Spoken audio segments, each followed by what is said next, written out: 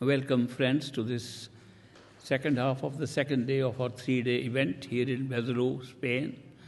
I'm very happy to see you again. All beautiful souls, wonderful seekers of the same truth, same search that I am doing. We are like co travelers. We're traveling together on the same path, which makes me feel very happy. I mentioned to you how love and devotion is the secret of the spiritual path. No love and devotion, no spirituality, all mental games.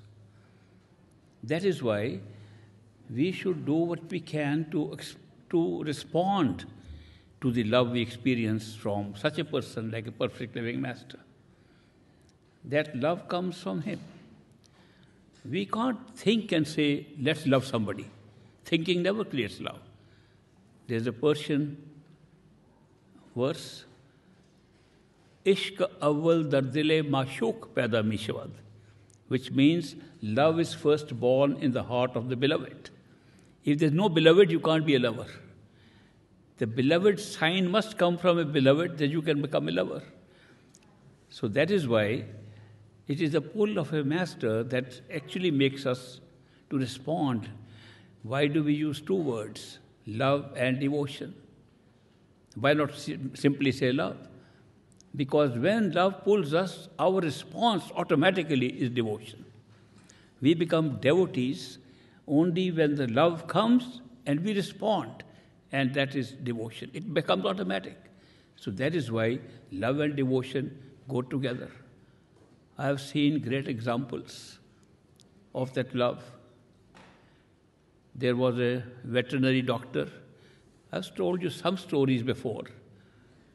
Dr. Ishar Singh of Kapurthala, much later after Great Master had passed away, he had something from Great Master which he treasured a lot the old shoes of Great Master. Great Master had given him, given him those shoes, and he kept them locked up in a safe place in his house. I had a friend in on the east coast of United States. His name was Roy Call. He's passed away, so I can take his name. Roy Call. And I and Roy Call traveled together to India. He said, I'd like to see the Dera. I'd like to see some old satsangis, if they still are there. I took him to the Dera, showed him the, all the buildings and, and the well where we used to drink water from, and how we used to have a bullock running the well and when the bullock was resting, we would push the well and get the water. All old stories I was telling him.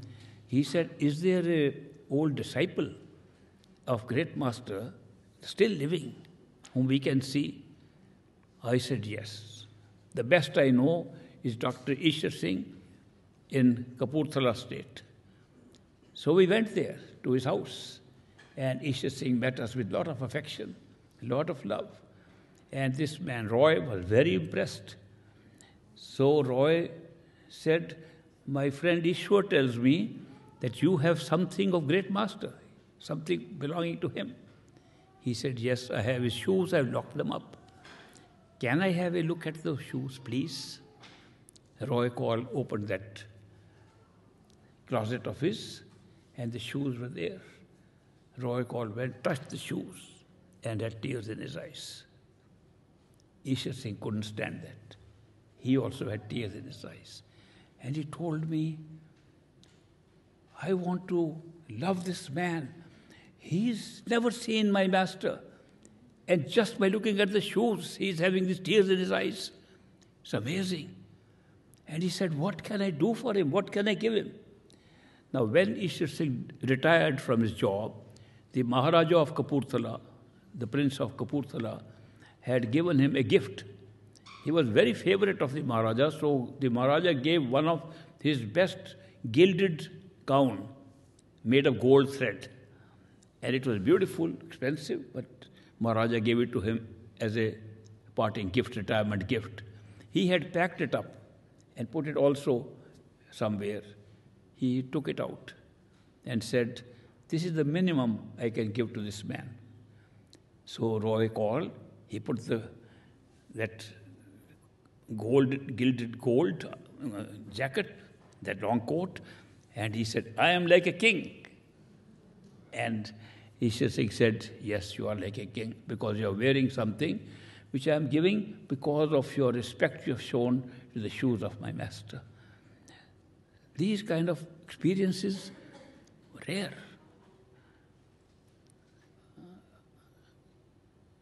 Once upon a time, that's how the story begins anyway. Once upon a time, great master decided to visit a town outside. Otherwise, all his discourses were in the Dera. He used to come, uh, before he retired from his job, he was working as a subdivisional engineer on roads. He used to do the construction, repair of roads in the military engineering service. So he, when he retired, he settled down where his master, Baba Jaimal Singh, had set up his two, heads, two huts Dera. There was no Dera, in fact, it was just a place where Baba Jaimal Singh, his master, lived. So when Ishwar Singh settled down in that place and found out that great master is the one who is a master, he didn't know where he was. The first few disciples of great master were actually Muslims. Because great master teaching transcended all religions. People of all religions were his disciples. People of all faiths were his disciples. People of every nationality were his disciples. People who were atheists were also disciples. So you can imagine the variety of people we used to see there. The Muslim disciples lived in the same town, Kapurthala, where Dr. Ishwar Singh lived. Ishwar Singh was always looking for some holy person, some enlightened person to give him some spiritual knowledge. And every holy person who came there, he would meet him and discuss him. He read many books also. Then these Muslim people said, if you want to find a real master, a perfect real master. He lives on two huts there on the bank of the river. Huts were built by Baba Jaimal Singh, and now the current great master comes there to give a little talk to a small group every weekend. He's on a job, but he comes only on weekends and gives a discourse every Saturday evening at 5 o'clock. Then he next day goes back to work. You want to go and see him? That's the time to go. But he's there all night till the next morning. Ishwar Singh said, I'll go. Normally he was riding horses, uh, veterinary doctor, but that day he took a bicycle and on the bike went down the bank of the river Beas. He was told that the dera where you will see the master is about three miles downstream on that river. He rode three miles, he walked some miles, three miles passed, no sign of any dera. He asked somebody, What are you looking for? Maybe three miles. You know, in India at that time, if you asked for directions, they would say it's one and a half mile, one ko, one and a half mile. You go one and a half mile, ask somebody, how far is the destination? One and a half mile. You could go on forever, it will be one and a half mile. Very consistent. This man went nine miles, three times the distance, and never saw the dera or the hut. At nine miles downstream, there was a boatman. There was no bridge, but there was a village on the other side of the river. The boatman used to carry people during the day to that village. it became little late in the evening. So Ishwar Singh asked the boatman, Can you take me across? He said, You come on the wrong side of the river. What you're looking for is on the other side of the river. You are on the Dhilwa side, which is the other slope side, and the great master lives on the other side. So he asked him, begged him, please take me. He said, there is no road on the other side to go up. And there's no pathway. It doesn't matter, he said, I'll go on my bike. There's no bike way also. They're all forest and lot of, pla- lot of uh, thick plants. You can't even drive the bike there. He said, I'll carry the bike on my head. Anyway, he persuaded the boatman and he got on the other side of the river and he carried his bike on his head, sometimes trying to find the way near the river, sometimes losing the way. And for hours he spent just to travel those five or six miles. Early morning, he reached there and saw a hut, two room hut. And he realized that is the Dera. So he knocked on the door.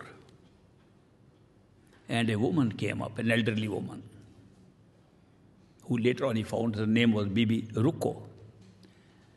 Ruko, he had heard from his Muslim friends, was a very, very enlightened person. She has been with Swamiji of Agra, attended on him. She has been with Baba Jaimal Singh, and now she is there with Baba Sawan Singh. And he, when the lady came, he recognized this is the same Bibi. Bibi started shouting at him, angry, used very vulgar language, and said, This is what you can do to come to a master at this time? Have you no sense that you come to disturb him at this time? Go away. He was so shocked that a woman who has spent her life with three masters should have so much anger if she's not changed a lot, what will I get from this master? Totally disappointed. He went back home. Later in the morning, he asked his neighbors. He says, You were wrong. There's no master. I saw that woman you were talking about, enlightened woman. She's so angry, so foul in her language.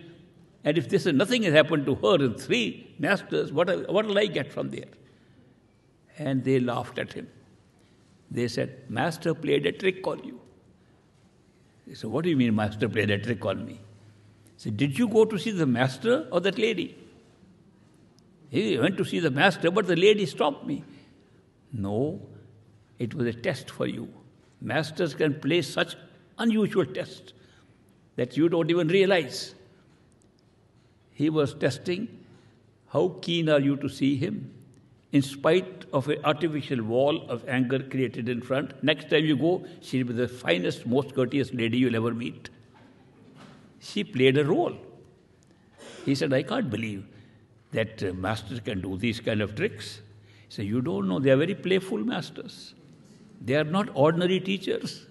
They have not come here to teach anything, they have come to be our friends and through friendship take us back to our true home.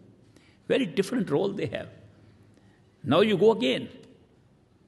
Now he knew that the meetings took place at five o'clock in the evening, and he knew that the land around that little hut belonged to a chief, a real Sardar who owned all that land.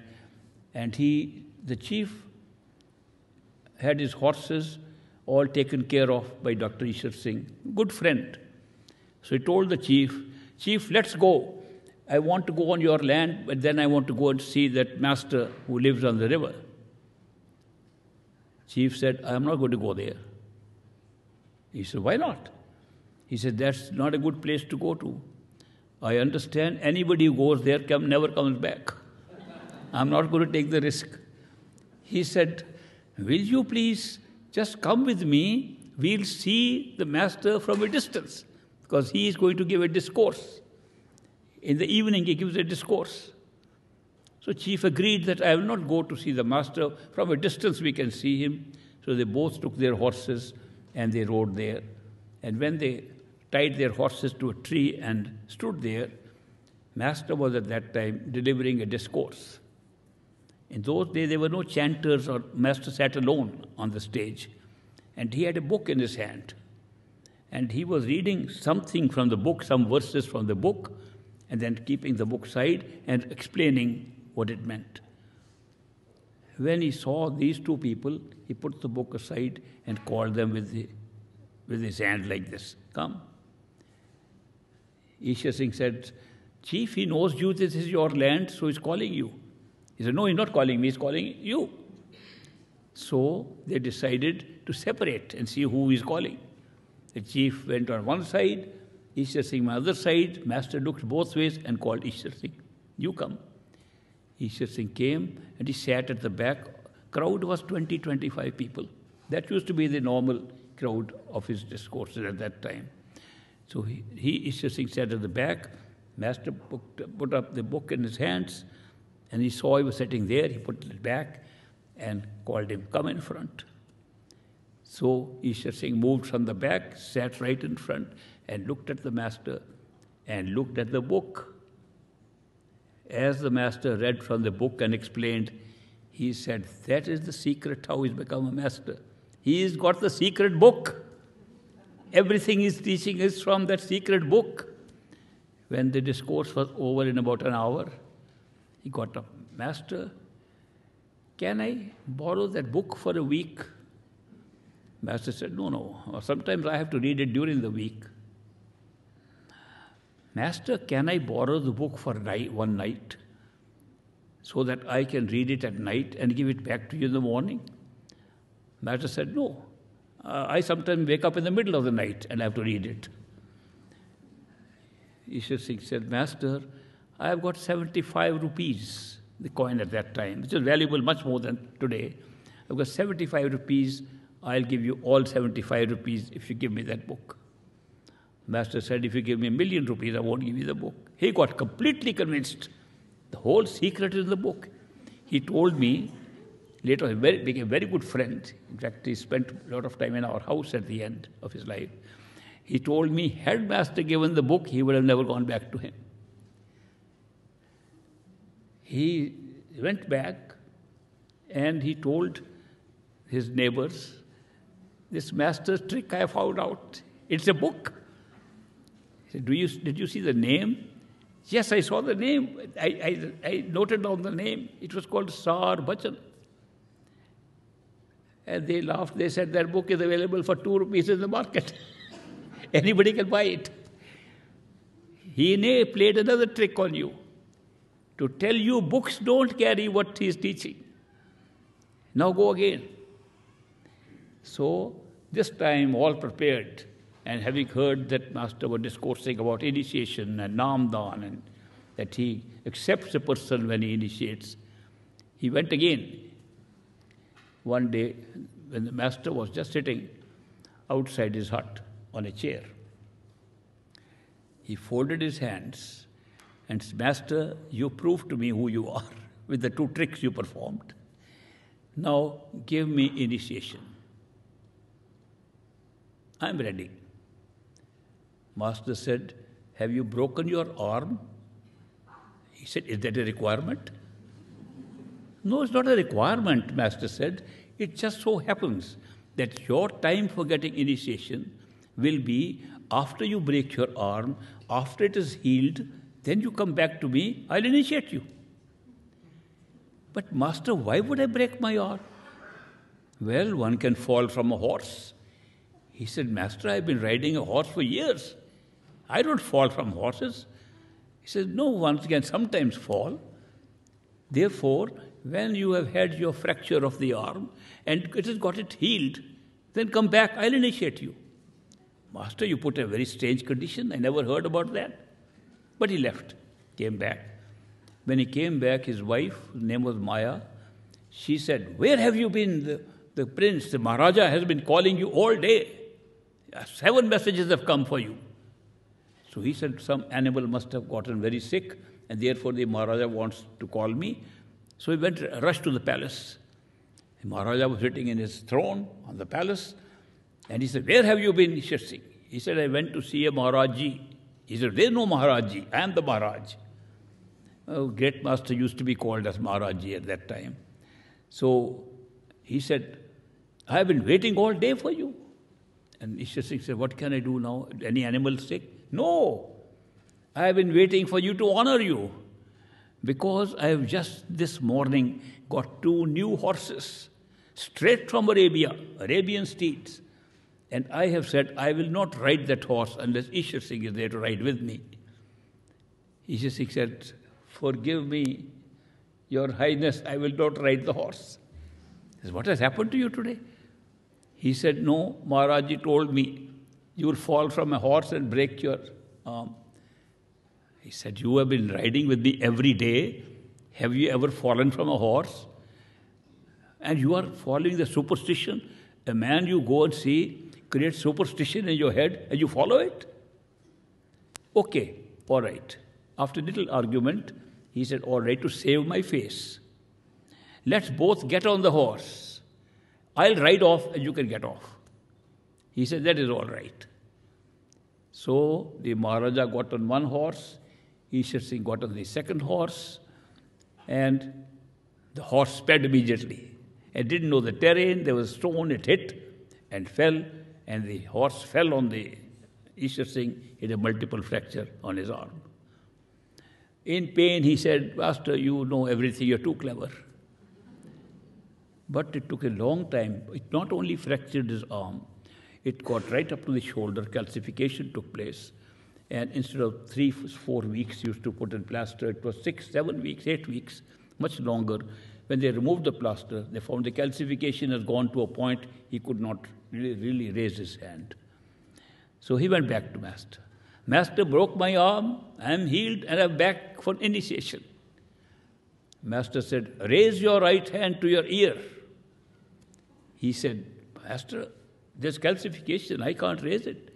Sorry, no initiation. He said, Every time you put a new condition? He said, No, no new condition. I told you last time. After you break your arm and heal it, then come to me. Master, this is calcification. This is a permanent condition for me. I don't think I can heal it at all. Master said, if your horse breaks his leg and you want to heal, if calcification takes place, what do you do? Master, that's a very terrible treatment. We use some strong acids to dissolve that. The horse feels so much pain. He hits the ground and makes a hole in it. Great Master says, Why don't you try it? Master, I'll die with that kind of treatment. He said, Okay, dilute it. Use some turpentine oil, use that acid and mix it up and, eh, in a ratio. And Ishar Singh went back and he tried, and the calcification disappeared. And he came and got initiated. I'm sometimes wondering how lucky we are. We didn't have to break our arms. Very lucky to get initiation, much simpler than people used to get. And this man got convinced this is a perfect living master. Of course, he made great progress in meditation. And he and my dad became good friends. And once they were both attending satsang together, the discourse. And great master said, if a seeker is able to have even the darshan, even look at the face of a perfect living master, he is guaranteed to go back home. It's only a question of time when he will go. A darshan is good enough for that. They were both very affected by that. After that, my dad said, The best thing I can do for any friend of mine is to just take him to see Master, then you can go home. Your job is done. He said, That's the best thing I can give to my friends. Ishar Singh also believed that. He also said, I want my dad now to get initiated. Dad was a very strong fundamentalist believer in the Sikh religion as was being practiced, where they believed that the Guru Granth Sahib, their scripture, is the Guru now, and there will be no more human gurus. Therefore, his father was a great believer in that. And he, says, he tried to explain, why don't you come and look at that man? He says, I am going to look at no man who claims to be a guru, who claims to do these things. Only my Granth can now take me, and I read it every day. Ishar Singh said, Just come, look from a distance, and come back. No way. He tried his best to persuade his dad to come and see the master. He went to master. He said, Master, I want you to bless my dad and give him initiation also, which you have given me. He said, Ishar Singh, You bring your dad to me, that's your job. Initiation is my job. So he tried to persuade his dad even more. Nothing happened. One day, Ishar Singh found out that Great Master is going to travel by train. And the train station has a platform which is at the bottom, and we have to go several steps up for getting a transport. So he told his dad, Dad, I have little work with the station master there, the station superintendent. I had to talk to him something. Would you like to accompany me? He said, Yes, I can come along with you. So the dad and Ishar Singh are on their horses at the station. He said, Dad, hold my horse. I'll go talk for five minutes to the station superintendent here, and then we'll go back home. So the dad said, Okay. He took hold of the reins of the horse. Ishar Singh ran down the steps, and Great Master was waiting for the train. He said, Master, 10 minutes more for the train. My dad is up there. He used to call him Bapu. Bapu is up there. Can you come and give him darshan? Great Master said, Certainly. And they both ran like children. I can picture how it was. They both ran up the stairs. But the dad had some suspicion something is going on. He had left his horse and gone away.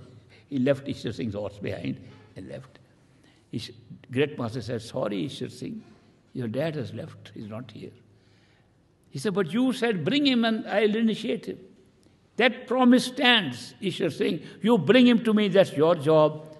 Initiation is my job. So he's thought of a very novel method of bringing his dad, which I recommend to you not to use. While the dad was sleeping early morning, he says he brought a big long rope and tied him up on the bed. He was a strong man. The beds are small, lighter than we find here. And he had hired a horse cart, we call it tonga, a horse cart, to take di- directly to the dera. And when the dad woke up, what are you doing? Dad, I'm taking you to my master. Is this the way you're mad? How can you tie like tie me up? He carried the whole bed and put it on the horse cart, tied up further on the horse cart. And dad is shouting and crying, My son has got mad. All the neighbors came out and said, What's happening? Singh said, My dad's got crazy mad. I'm taking him to hospital. Dad said, I'm not mad, he's mad. Everybody said, Take him quickly. True story. And there is a great scene going on. Great master sitting outside his hut, and a horse cart is coming with the man tied up by ropes, and another Ishar Singh riding on a horse along with it. Great master saw, and he got up from his chair. What is this? Ishar Singh said, Dad, I have brought my dad to you. he said, Is this the way to bring a dad? You are mad. And the father said, That's what I've been telling him. great master said, Take him off. Look, he's hurt himself with the ropes. Put some balm on it. And some sevadars came, some people serving came, and they took him off. And he said, Take him in and put some balm, treat him, put a bandage. This is the kind of mad fellow. And he took the father inside, and great master came out and did like this not to make a noise. He says, Come after three days. Singh thought, What will happen in three days? Three months, three years, not going to persuade my dad. Anyway, he left. After three days, he returned. When he came, he saw Great Master still sitting on the chair. Normally, he'd sit outside the hut in that weather. And his dad standing in front of him like this, holding his hand fold, folding his hands. And he was surprised. As it happened, when he got off from the horse, the horse created mess on the ground. His dad took off his shirt, said, In the presence of such a great master, you are dirtying the place? You're truly mad. And he cleaned it up. He said, Is that you, Bapu? Is that really my dad? How have you changed? He says, No, you never explained to me who he was. I now realize he is the very embodiment of a Satguru described in my Guru Granth Sahib. He is the same who's been described there. And tell, shall I tell you? Only this morning I was so lucky I got initiated from him. Story of Ishwar Singh. Is not to be followed by anyone. Your dads will come easily if you tell them the story. This man, Ishwar Singh, had so many events with the great master. He said, he spent some last few years at my house. We were so close. I was working in the office. I had a job in India, in the civil service there, administrative service. So at, at one time, my job was very responsible, very busy. Was chief secretary to a state government. And I had a nice big office, but a lot of work, business, meetings, meetings all the time. Ishwar Singh would wait outside to see me. Any moment that could be free, he would come in. And I would love to see him. But my secretaries, my PA, personal assistants, they would all be very tired of him. That boss is so busy, and look, this man disturbs every day, this old man comes and disturbs him. Then I couldn't tell them that, no, I don't want to do work, I want to spend time with this man, which I wanted to do. But a few minutes I would get, there was an ante-room in behind my office. I would take a cup of tea with him or something. As the secretaries would shout, next meeting, time for next meeting. He would also get disappointed. I would also get disappointed, but we had to do work. He, then he would, when I would leave office, I would go in my car to my house. He would take his bike and come to the house. And one or two times it was all right, he came, but my wife got so angry with him she says, My husband gets so tired in the office. And I have understood. I have a spy there who tells me you are outside the office all the time. And then after spending time with him, you get time to go in on the office, and now you come in the house to disturb him. Very bad. Don't do that in future. She stopped him from coming in the house. And I was too handpicked husband to say anything to my wife. so I had to follow what she said. But I did feel that he should come. But he was cleverer than me, Ishwar Singh. He found out from some friends that my wife likes some, some types of pakoras. You know what pakoras are? Those fried things, vegetables and others fried up. He did another trick now. Before I left office, he would go to the house. And from the gate, from the door, he would shout, Baby, great pakoras. She would say, Come in, doctor. so by the time I reached, they were having tea, and he was able to spend time. I can't tell you what his devotion was for the master. Toward the end of his life, he gave me the secret. He said, A master in Punjabi, Yar pehla guru mein. A master is friend first and master afterwards. If he's not a friend, he can't be a master. This is a whole relationship of love and devotion between friends. That is why a master becomes ordinary human being like us. That is why he lives like us. Because if he didn't, he wouldn't be a master for us. He'd be somebody to be worshipped, somebody to be respected, but not loved. Only friends can love like that, which a master can show. And he said, people come to master to see miracles and he pretends he knows nothing. And they go away. If they're ready, they're pulled by his love. There's something happening here. It's a great screening that happens because of the pull of love that comes from a master. So that is why he explained that if you are not being pulled by a master into friendship, search another master or go wait for another master. There is something that, that tells you whose disciple you are. That pull comes from there. And this is especially relevant for me as a disciple of great master because my friends ask me, tell us who is the perfect master. I can't tell who is the perfect master. Everybody has to find. I was totally pulled and completely transformed by this man. I can certify perfectly a master, greatest master. but he can't talk about anybody else, nor is it my part of my life's role or anything. But if some master comes and pulls you with his love, follow him. Even if he is not perfect, he is your master for that time. You will see he'll take you where he can take you. If your desire seeking is beyond what he has taken you, you will find another master automatically. This is automatic. Seeking is causing all this. You can have series of masters. They all take you on a course of spiritual growth. And when you are finally ready to, to seek nothing but your ultimate home, perfectly master comes into your life. Tell you another story to illustrate it. There was one engineer in Burma, now called Myanmar, in Rangoon. His name was Trilok Chand.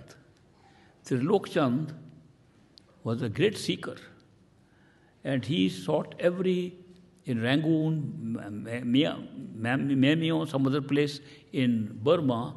He would travel to see every holy person who came, every saint who came, every master who came, and tried to get some of his teachings. Somebody told him, What you are looking for, you cannot find here. You have to go to India. In India, in a town called Madras, now called Chennai, then called Madras, there is a Swami. And that Swami is truly enlightened.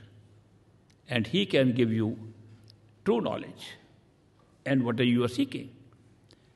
Now, this man, Trilok Chand, was in Punjabi, we say kanjoos, very miserly. I'll explain his miserliness. He would take a one rupee note in his hand to spend or not to spend, not to spend. That way, he had collected 30,000 rupees. Oh, being a small official, uh, an engineer, it was a big amount at that time to collect 30,000 rupees.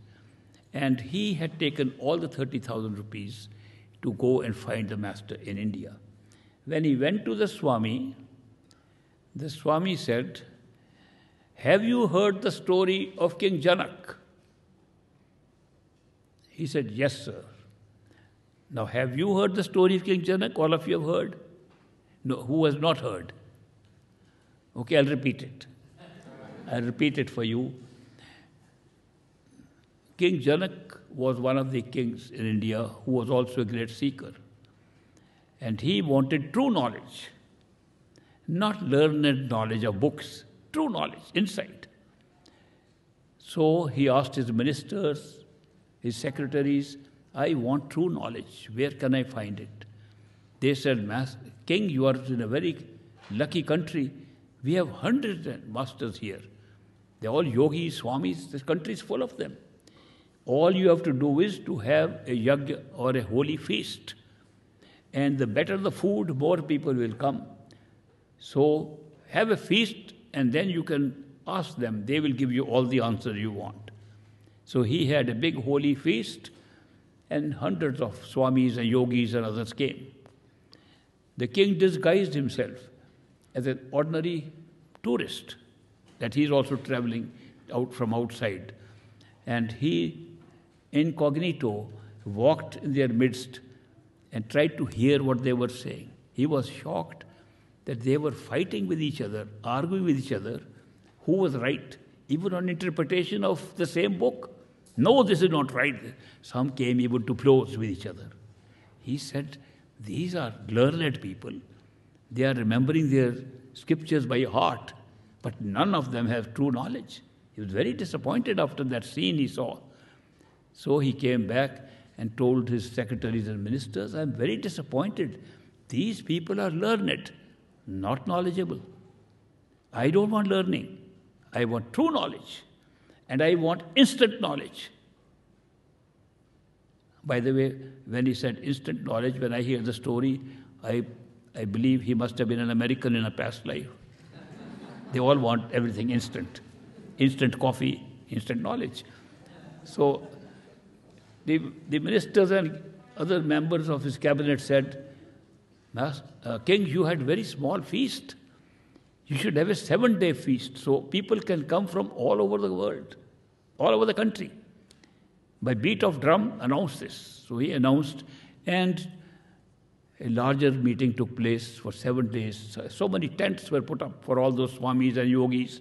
They came, some burnt fires, some were wearing orange colored robes, some were wearing yellow colored robes, some black colored robes, some white colored robes, some no robes. They all assembled. Every kind of Swami came there. And the king again became incognito and walked amongst them. And he saw the same experience repeated seven times over. All learned people, all very egoistic, all claiming, We have read more than you, we know more than you. He said, Where is the knowledge here? This is not knowledge I'm looking for.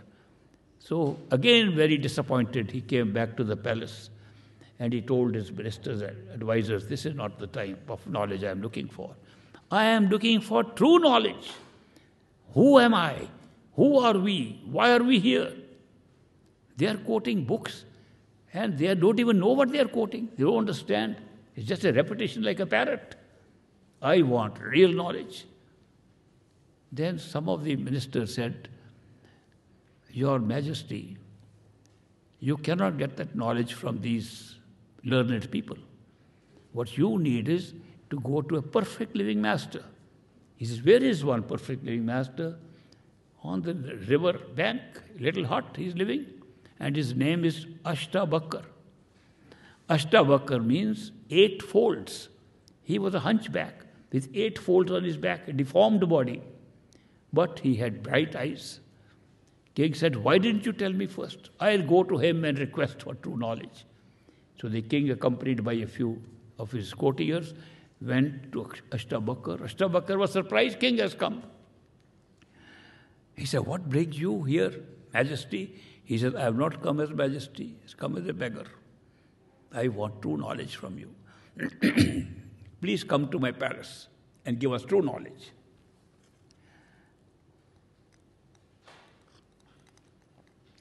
Ashtabakar said, Certainly.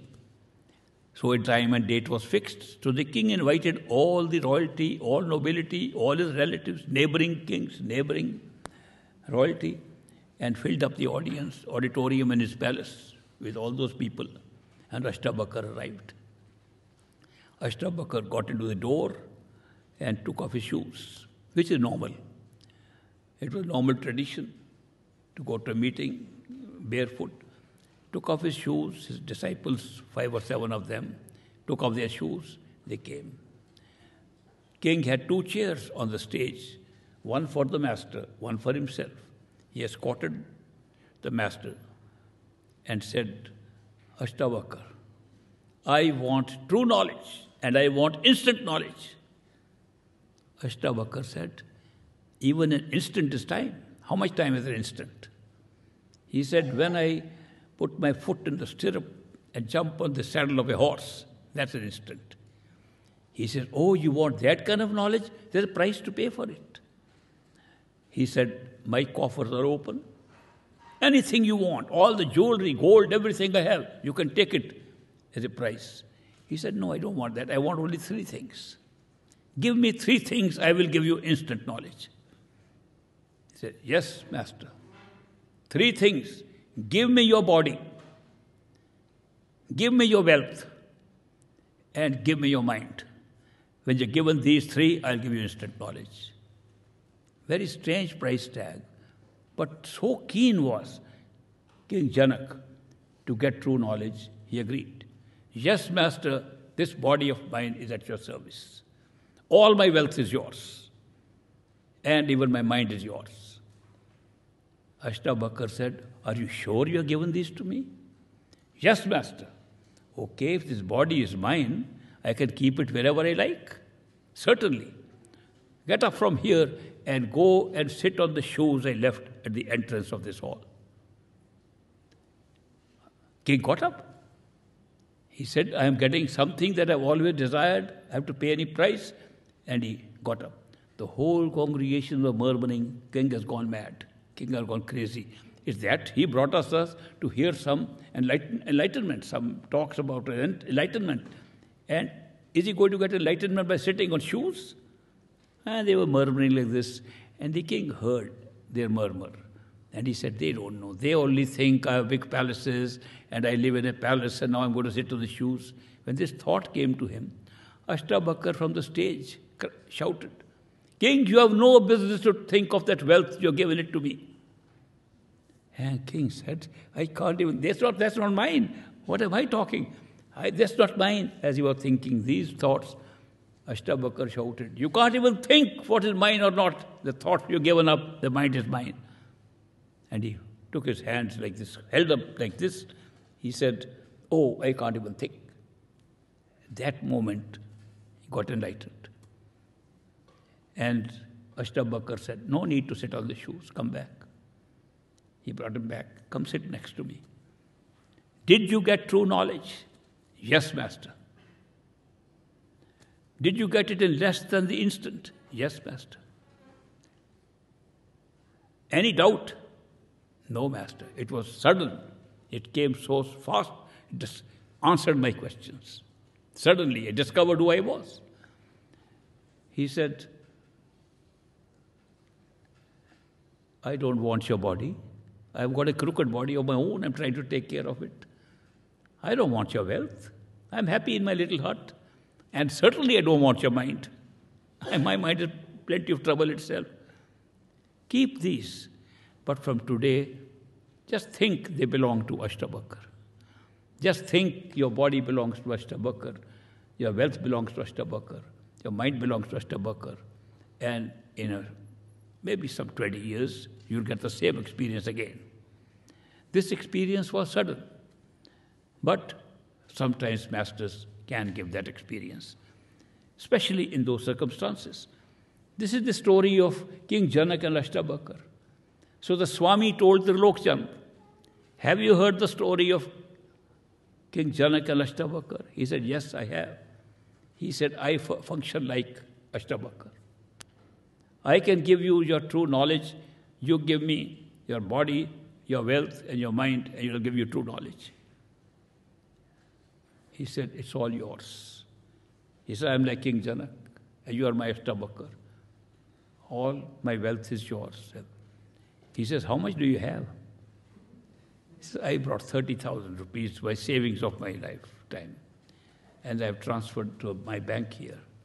Okay, let's start with wealth first. Transfer that money into my account.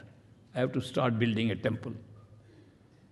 Now, it is difficult for us to believe the change in that man's mind that he could not spend one rupee. And yet he transferred the whole 30,000 rupees the same day into the account of the Swami. Swami said, Now time to give, give me your body. And this is to be used for meditation, for a yoga which is a true yoga that takes you to the highest levels of awareness. The yoga is performed by breathing through the nose alternately. One breathing, one breath in and out from the right nostril, one breath from the left nostril, alternate. And you can't use your fingers or your hands because if you use your fingers and hands, your attention is in the hands. Spirituality is inside, not outside. Therefore, it has to be done inside through your tongue. The tongue has to be twisted back and operate inside to the nost- end of the nostrils here. And since the tongue cannot be turned around because the tendons connecting it, I have to cut your tendons out. He said, My master made my tendons cut, and the Swami took his tongue out like a snake. And he's such a long tongue, and he could put it backwards and could control the breathing from both nostrils. He, this doctor this Trilokchand went through this torture. For a month, he said, I will not only do it by simple surgery, I'll do it by rubbing, not with ordinary sandpaper, with a plant which we call bichubuti, scorpion. It's a very bad nettle rash, something like this. Very bad plant. I'll, every day I will do it for a month. You torture. That's a sacrifice to get true knowledge.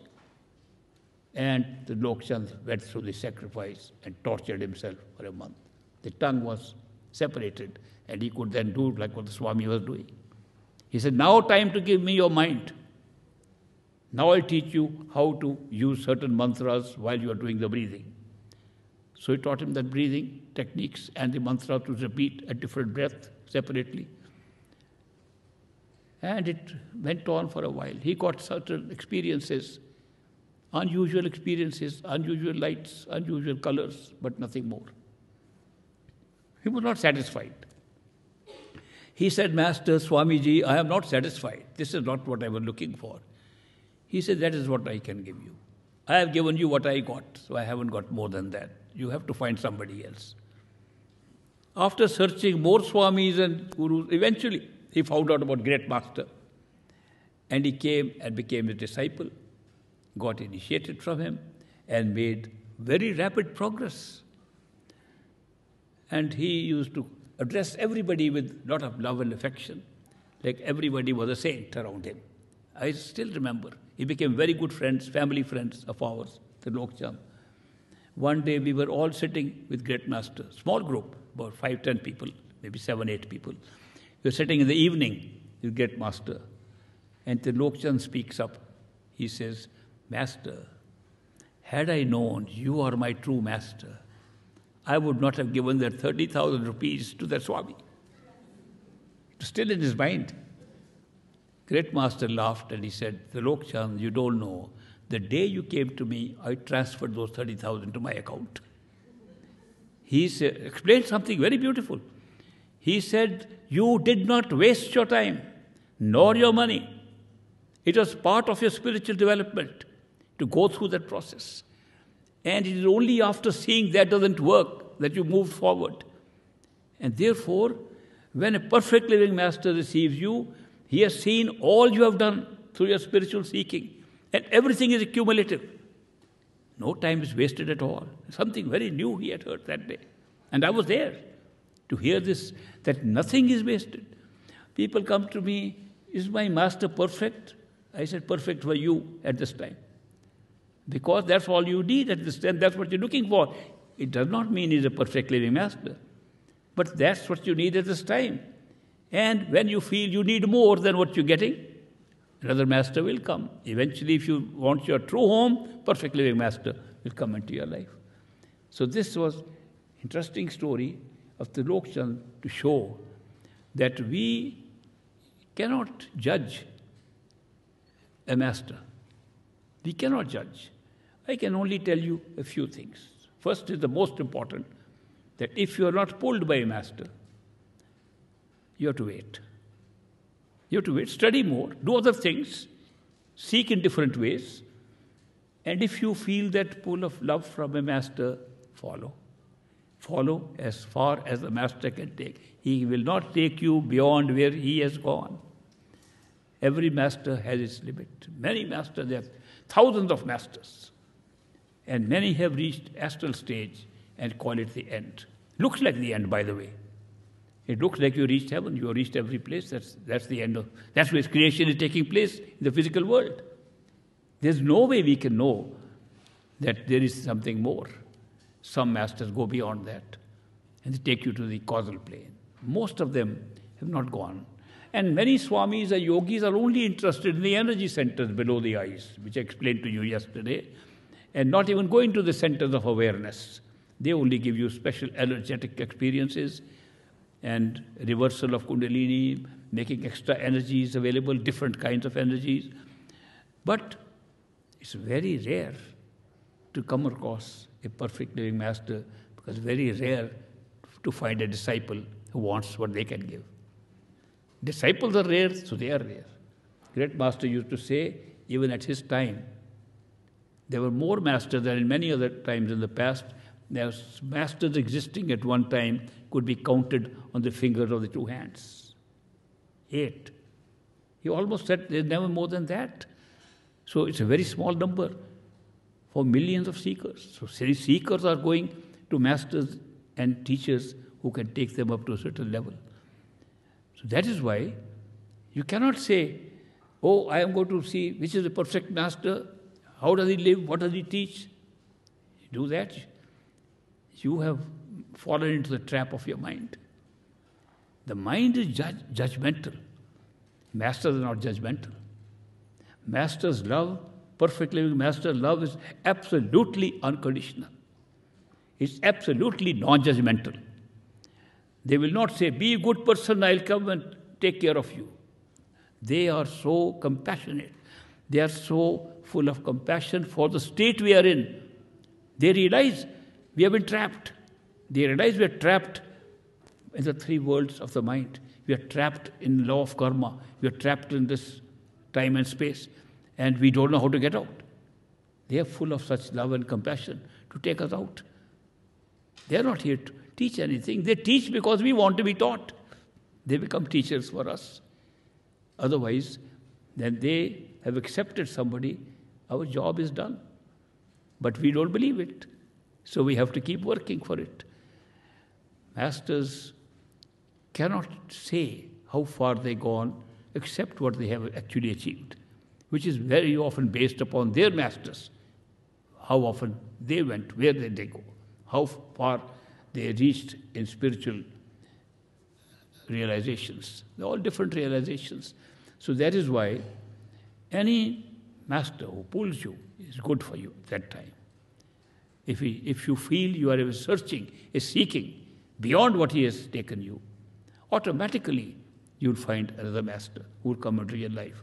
Don't forget, if all this karma is being arranged by predetermined method, who has determined it? Our own true self, which is one with the creative power. Not two people. There are no two people. There's only one at the end, and the whole program of creation has been written up there. And in that creation, it's written up how we will go back to the same state. It's not a question of traveling from one place to another, it's a question of realizing where you belong and where you want to go. We are the authors of our own destinies at that point, not here. We can't change anything here. If I want to say change the colors of the flowers, you can't change them. Astral plane you can. Other planes you can do other things. Eventually you are the writer of everything because you are one with the Creator. And that is why when we say masters come at that time, it's our own arrangement. Some people do ask me, if we really chose our own destinies at the causal level, we were not very wise in what we chose. We could have chosen a great life. Yes, you could have chosen a great life and found no master. You could have a life of riches. You could have life all involved in the attachment to this universe and this world. More trap. And then, if you're very rich and afford anything, you could afford a lot of sin too. According to the laws of karma, you are creating all actions into good and bad.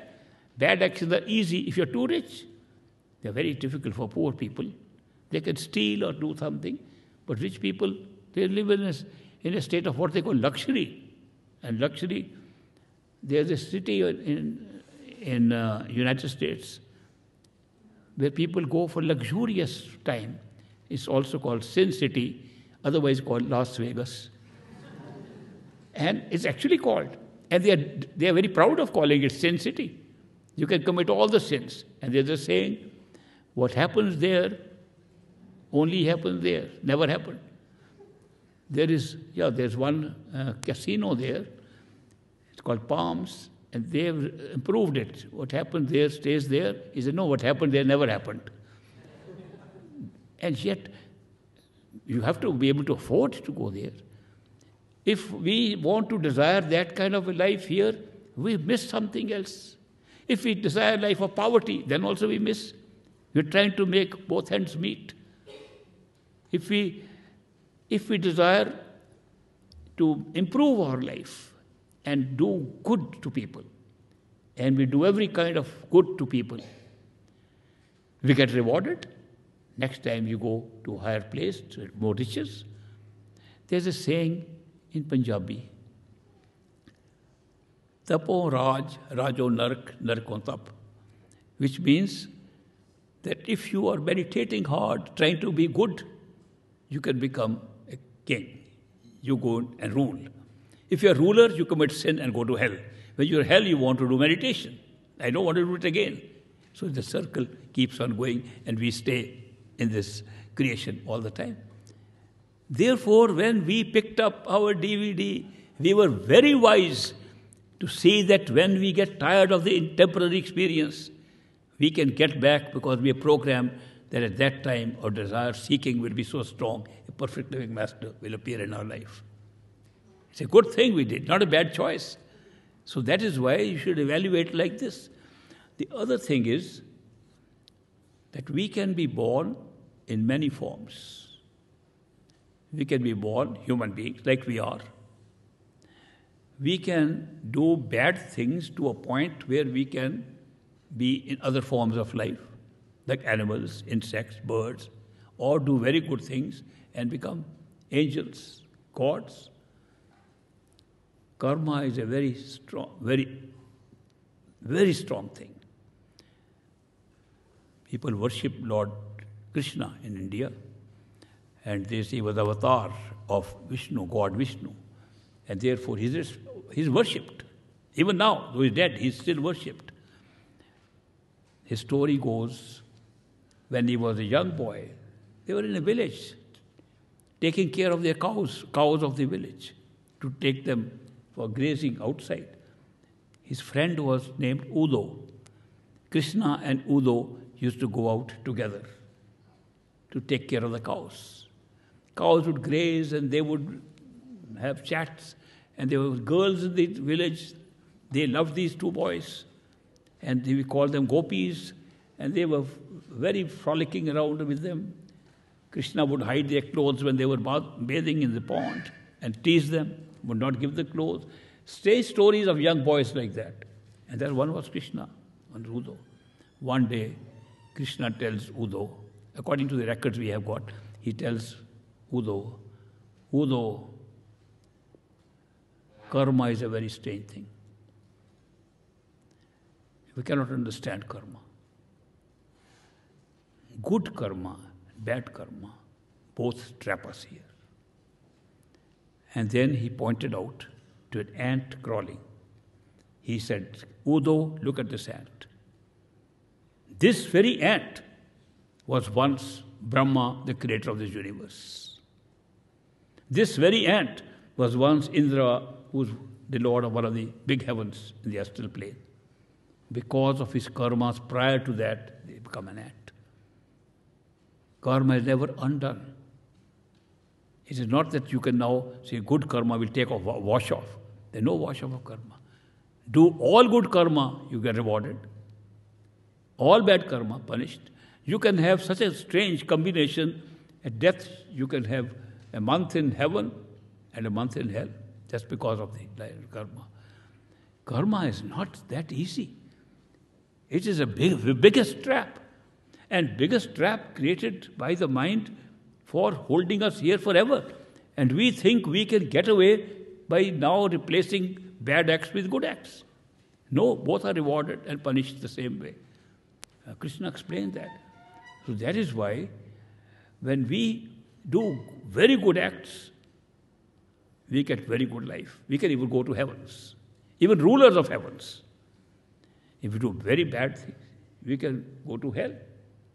In between, what is in between? We can be an insect, a dog, a cat, horse, anything. All life forms. Don't forget, life is created. Life, where metabolism exists, where growth exists, that's created by the soul. And all souls are the same, no matter what form they come here. So that is why it's important to know that when we decided to have a karma that is middling somewhere, we become a human being. Supposing all our karma was good in the past, we'd not be here. We'd be up in some heaven. If all the karma was bad, we'd be somewhere else, not here. It's only a mixture of good and bad karma that gives you human life. Always. Every life has good and bad. And I once made a study of it. I made a study in a university I was studying. I want to understand why people, some are very endowed with riches, great life they're leading, and some are poor, suffering. I realized after examining 1,000 subjects that we are all the same. Some are having visible assets which are causing happiness, some are causing intangible, some tangible, intangible. For example, I met some of the richest people, celebrities from Hollywood. People think they're so happy, famous people. Spent two days in their house, most are happy people. I went to the place where Krishna was born, very poor people, farming. I sat with them when they sang the songs. Are udo karman ki gat se. They were singing in their dialect. And I sat with them, so happy. Faces cheerful, and very poor. When I began to examine, if we take what we have, the tangible and the intangible, they all come out equal, we are all equal. But we don't realize it. When we don't have wealth, we think wealthy people are happy. Wealthy people say, look at the poor people, our wealth can't give us what contentment they have. This is all something that's created human life. But the mixture of these is what creates human life. And that is why we all have ups and downs in our life. This is the best thing we could have done, to have a combination and then be here, because this is the time, only time that we have the experience of seeking through free will. No other form of life has that. That is why, if one, somebody were to ask me, what the greatest miracle you have seen?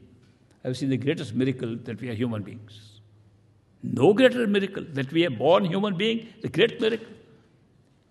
Higher miracle that we have come at the right time in our human life then we can be found by a perfect living master and go to our true home. I'm very happy to talk to you about these things. They bring me into memory and I talk sometimes incessantly. I have to get some signs. I'm getting a sign for a, quite a while. Please stop, please stop. So I will stop, thank you. I will stop and see you again tomorrow morning, 11 o'clock. And we'll continue the discussion and I'll be able to uh, answer some of your questions. They have questions. If you have a question, you can write it on a piece of paper they'll give you, and I'll try to answer your questions tomorrow. You can ask any question on what I've said to you in these two days, or you can ask any question what I did not say, and I'll try my best to answer those questions. Thank you very much, and God bless, Godspeed. Have your nice time in the evening. Enjoy Besalu, beautiful place. And I'll see you tomorrow.